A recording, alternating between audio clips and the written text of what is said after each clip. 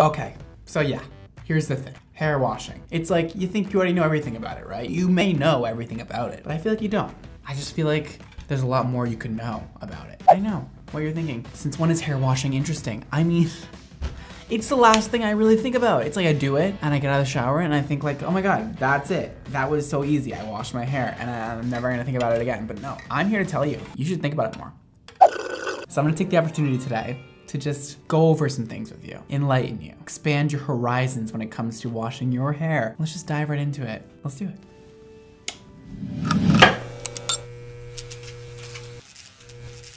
Welcome to class, boys and girls. This is Hair Washing 101 on the whiteboard. You can get that written out. Hey, beautiful. So, listen. This video concept came up to me when I was telling people how to use my shampoo and conditioner, Project X. I used it on my Instagram story. I showed you guys what you should be doing, how you should be washing your hair, and a lot of people had a lot, a lot of questions about this. Listen, I've had all the questions ever when doing clients' hair. That's the one thing you don't really talk about because you think everybody already knows about it, but it's actually not true. So let's get into it. Water temperature. What do you think is the best option to wash your hair with? Cold, hot, extremely hot, lukewarm. Take your pick. What do you think is the best? I'm gonna give you the answer right now, okay? Warm is the correct answer. Congratulations if you got that right. Warm, you should be washing your hair with warm water, okay? A lot of people wanna know, hey, should I be washing my hair with cold water? I heard it makes your hair shinier. I heard it makes your hair healthier. I, I, I'm gonna come out and say it. I think washing your hair with cold water is such bull. I wouldn't do it unless you want to just make yourself miserable in the morning or at night or whenever you end up washing your hair. Stop washing your hair with cold water. You need the warm water in order to open up your hair cuticle, okay? Warm water will end up opening your cuticle a bit wider than cold water will and it'll release the dirt easier. You can honestly Put your hair under the warm water and it will cleanse your hair. Next, let's talk about how harsh or how gentle you should be washing your hair. You can take your guess. You should be washing your hair gently, not gently, gently er, gentlest. Take your pick. What do you think the answer is? If you chose gently, you'd be correct. A lot of people tangle up their hair when washing their hair. A lot of people like to go really in scrub. I know it feels good, but what you're doing is tangling and matting your hair more than it needs to be tangled and matted. You don't need to do that because what you're gonna do is end up roughing up the cuticle way too much. When you rough up the cuticle, you could be losing hair that you don't need to be losing at that time. Listen, just go in, side to side motions, not round motions, because this will tangle your hair. Side to side is best and a little bit gentler than maybe you're wanting to go, okay? You don't need to go like extremely gentle. You don't need to be like touching a baby's head. You can go in there. Just don't be like, I see a lot of girls, okay, going in with their fingernails. Listen, again, I know it feels great, but you're gonna ruin your hair. Just chill, okay? Gently, gently rub your head side to side with the shampoo. Now, let's get into suds, okay? Do you need them? Are they necessary? What do suds do? They're the thing that washes your hair. They don't do anything. They wash your hair better than when you don't have suds. If you chose they don't do anything, you would be correct. Suds don't do anything. They're just a visual cue that you're washing your hair. You don't need suds for any reason. Now, what suds pretty much do is just make you think you're washing your hair better than you're actually washing it. Kind of cool, kind of not cool. But I know a lot of people out there are convinced that if your shampoo does not suds extremely crazy amounts of foam, your hair is not being shampooed properly. It's just not true. I've heard a few people say it about my shampoo, Project X. It doesn't suds a lot. However, a lot of companies put a lot of surfactants in their shampoos in order to make you think that their shampoo is working better than other shampoos. Now, when creating my own shampoo, I did put surfactants in there because even me, I even though I know this information, sometimes I'm still like, hmm, I'm not really convinced my hair is shampooed properly without having suds. So we did put a surfactant in my shampoo. However, we did not put a overbearing amount because I don't think it's necessary. And to be honest, it's doing nothing for your hair. It's just a visual cue that you are shampooing your hair and you are cleaning it. However, even if there wasn't any surfactants in there, no suds, it would still be doing the same thing. So you actually can use shampoo that have absolutely no surfactants in them and they are still doing the job of cleaning your hair. Interesting, right? Suds are not going to harm your hair, except they may harm your thoughts about a certain shampoo conditioner. They may make you think one is working better than the other, when in actuality, the thing that's not sudsing is, is probably doing more good to your hair than the one that is sudsing incredible amounts of suds. So yeah, now. Let's go over one more thing about the scalp. When you wash your hair, which parts of your hair should you be washing? The scalp only, the scalp and ends, the ends only. Choose one. If you chose scalp only, you'd be correct.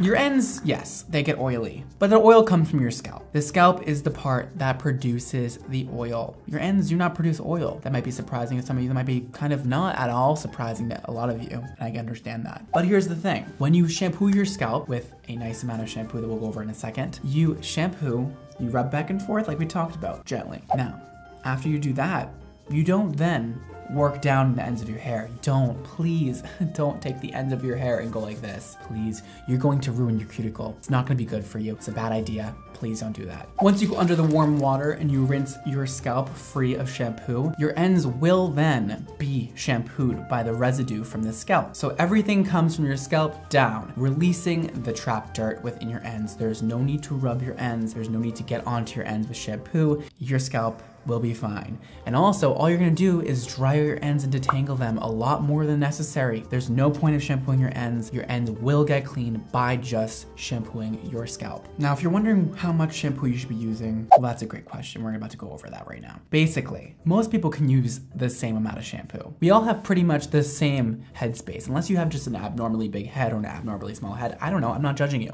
Do your thing. However, most of us have the same size head, similar sizes, I'd say. How much shampoo should you be using? Well, we have a few different categories here. A dime size amount, two dime size amounts, three dime size amounts. If you picked two dime size amounts, you'd be correct. I like to use one dime size amount for the front of the head and one dime size amount for the back of the head, okay? You can put a little bit in at a time, lather it up, even though the sizes don't matter. and then work the front of your hair do, do, do, do, all the way back to here. Put a little bit more in, move around your hands, and get the back, okay? Make sure you don't wipe the shampoo away with the ends of your hair when you go to put on your scalp, okay? If you have very long hair, move it around your shoulder, go in from the back, go in from the back, and go in there, okay? Focus on parts that get the most oily, maybe like right here. For me at least, that's where I feel like I have the most oil secretion, and that is where I start. So I like to put one hand maybe right here, and one hand right here, and kind of just like go in there. But a lot of people tell me they have long hair. They need a lot of shampoo. They buy the gallons of shampoo. It's not enough for them. Girl, you do not have to be using that much shampoo. That's crazy. 99% of people can use the exact same amount of shampoo. I can use the same amount of shampoo as a girl with 24 inch long hair. I promise. I've heard people who wash their hair once a year. I've heard people who wash their hair every day. How often should I be washing my hair? Again, I'm very happy you asked that question. Should you wash your hair once a week, every day, once a month, once a year? Pick your answer. What do you think the right answer is?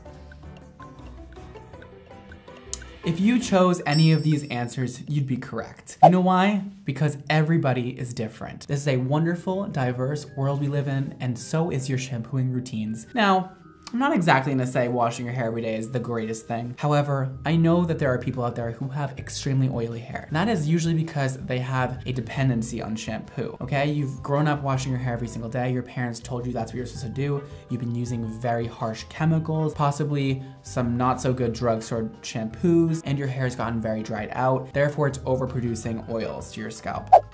There are ways to fix this, okay? I typically like to wash my hair once a week. And when my hair gets oily, I use a natural bristle brush from the scalp to the ends and I brush it through. You can also use dry shampoo to help combat the oils in your hair. So if you've been washing your hair every day for your whole life, I would probably stop that. And let me say one more thing before you come after me right now. My shampoo is called Project X Everyday Shampoo. Everyday shampoo. Let's get one thing straight, okay? Everyday shampoo does not mean every day. I know that's a little misleading. However, when somebody refers to an everyday shampoo, it's typically a word used for a shampoo that is gentle enough for everyday use for those of you who are committed to washing your hair every day. You can definitely use my shampoo every single day. However, it really refers to a shampoo and conditioner that is gentle, that is not gonna be extremely heavy. It's a shampoo that is formulated for all hair types and textures. It's gonna be good for everyday use if you are committed to that, and good for people who wash their hair not so often. So let's go over that though. I would discontinue washing your hair every day if possible. There are a lot of YouTube videos about how to train your hair, how to stop washing it so much, how to make your hair stop producing so many oils. So I definitely recommend going to YouTube and searching that if you're interested to learn more about that. However, today we're not going over that. So go watch somebody else's video. But for me, somebody who has processed, lightened hair, I like to wash once a week. It gives me the perfect amount of time to have a little bit of oil secretion from my scalp to hydrate my ends and not dry out my hair too much. So once a week seems to be pretty good for most people, or twice a week seems to be pretty good for most people also. Let's talk about how long you should be leaving your conditioner on for. 30 seconds, three minutes, 10 minutes, 15 minutes plus. This will vary per person. Now, listen, if you want extra hydration, I would definitely leave it on as long as you possibly can in the shower. I don't think you need to exceed 15 minutes. I think yes for a hair mask, but for just plain old conditioner, I would probably go personally with about three minutes. I like to get in the shower, right away shampoo my hair, right away after that put conditioner on and just leave it on until I'm done with the shower. That may be whatever, three, 10 minutes, whatever I end up doing that day, but I'd say just leave it on but you don't need to exceed 15 minutes if you don't feel like it. I really just don't believe it's gonna do anything else for your hair unless you're using a hair mask that is made to be left on for that long of time. I like to always follow up my personal conditioning routine with a hair mask because I know that I need more love than just a regular conditioner. Now the conditioner is gonna do the job of detangling, getting it kind of prepared for the hair mask, but I like to really double up on conditioner and I know the hair mask will give me that much needed lift of all the essentials I need in order to really, really hydrate my hair and bring it back to life. And also, I have a couple things to go over after the shampoo and conditioning process. Here's a big one for me. Here's a pet peeve of mine. When you get out of the shower, do not take that towel and scrub your head with it. Don't you dare do that to me. Don't go like this. Don't put your head down and go like this to your ends. Oh my God, there's nothing I wanna see less than that. Calm down, Brittany. I would recommend is scrunch the hair in the towel. You kind of lay the towel over your hands and scrunch the bottom, scrunch the top, whatever, whatever. I also wouldn't put your hair in a turban. I know it's it's it's tempting, but you're gonna end up getting some tension alopecia if you're putting your hair up in a turban all the time after washing it because it's gonna really pull on those very fragile front pieces of your hair that have just been washed, that have just been warmed up. When your hair is warmed up, it is in a much more fragile and expandable state than when it is cold. So I would not recommend putting your hair up in a turban. I know it's easy. I know it's like, mm, I should do that, but like, no, you shouldn't, girl. You just shouldn't do it. Now that your hair has been washed perfectly and it's looking fabulous and it's been conditioned to perfection, one of the most important parts for me is after the shampooing process. Listen, following up with a great hair care routine is essential okay? Because what you're doing when you shampoo is getting the dirt out of your hair and detangling and adding a bit more health to your hair with whichever product you may be using. But at the end of the day, shampoo and conditioner is only touching your hair for a matter of minutes. There are definitely benefits to that, but there's not as many as there's gonna be when using aftercare products after your shampoo and conditioning process. So this is where it's gonna vary a lot per person. You have dry hair, you wanna use some leave-ins. You wanna use some oils. You have curly hair. You wanna use some curl products, obviously curl defining products. You wanna use maybe some oil also, maybe some heat protectant spray if you're gonna try and blow dry it out and straighten it. Whatever your hair type or texture is, there are definite necessary products you should be using in order to keep your hair the healthiest possible and always follow up your shampoo and conditioning routine with the proper product or else you're just gonna let your hair down and you don't wanna do that. Your, your hair has done so much for you, so much for your confidence and so much for your personality. Give it a little love, okay? Show it how you love it back. Let's get into the type of shampoo and conditioner you should be using. A lot of people wonder why I don't always recommend drugstore cheap shampoo. I am by no means saying that drugstore shampoo and conditioner is bad, but there are definitely bad ones out there. Listen, if the shampoo has been marked down significantly. If you are paying a very low price for your shampoo, there is a very high chance there is not high quality ingredients in that shampoo conditioner. Guys, my father always told me, you don't get nothing for nothing. And I brought that with me through everything in my life. The more you pay, to a point, gets you more benefits. Listen, don't go out there and spend $10 on a shampoo. You're just gonna get probably a soap bar in a liquid form, which is not gonna be good for your hair. It's gonna strip you of all your natural essential oils. It's gonna leave your hair so damaged without replacing the essentials that your hair needs to grow healthy.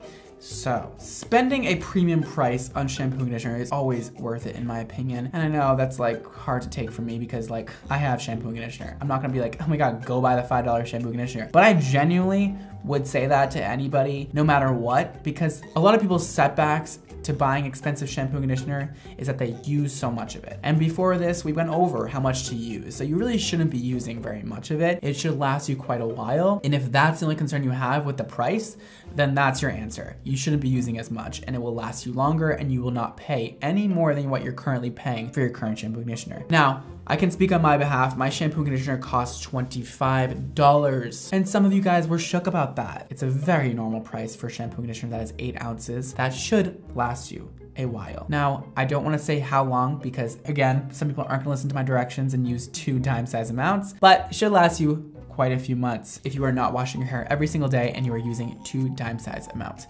So that is that. I just wanna say there are reasons for shampoo being so cheap in drugstores, some of them. There are reasons like they use literally whatever ingredients they can find, whatever the cheapest ingredients there are at that time, and put into a, a large quantity of shampoos and conditioners and sell it for a low price because they are making these shampoos and conditioners for a very low price. Okay, brands are always marking up their prices to their consumers, and that's because that's how they make money. And typically, retailers people selling goods are marking up their product by 50%. And that is because it covers the, all kinds of costs, okay? Not only do retailers have the cost of making the shampoo conditioner, they have employees to support, they have employees to pay, they have manufacturers to pay, they have all sorts of payments that need to go through. So you're not usually looking at companies that have less of a 50% profit margin. Um, so when a shampoo costs $6, $10, you have to think, how much do they make that shampoo for? That is very cheap to make. And there are reasons for that